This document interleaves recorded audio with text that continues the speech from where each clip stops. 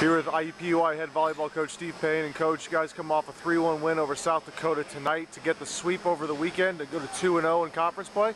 Uh, wasn't pretty stats wise, but you got the win. Just talk about it. Uh, it was a great win. Uh, to compete like we did, especially in set two, to, to, to pull out that win, uh, it was great. Uh, South Dakota's got a great team put together right there. Uh, we just were battling it out the whole way.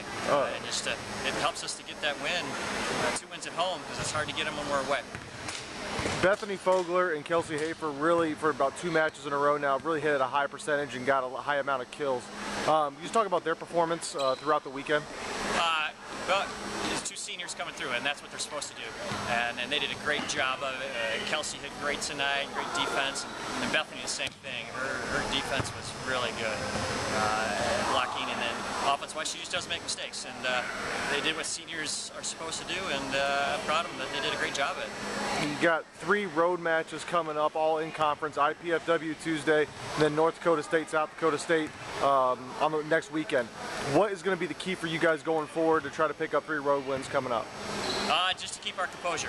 Uh, we've got three very tough teams, and we're on the road with all three of them. So we really need to just, just to stay calm and collected, and, and, just play volleyball like we know. And you know, we know they're going to score points, and we just got to score when we have opportunities, and we can pull out those wins. Congratulations on the wins, coach. Thank you.